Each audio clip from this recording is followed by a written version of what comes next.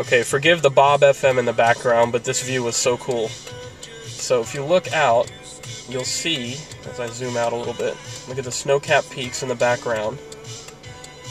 I believe these are hop trellises, and then I will ask someone else that later since I don't know.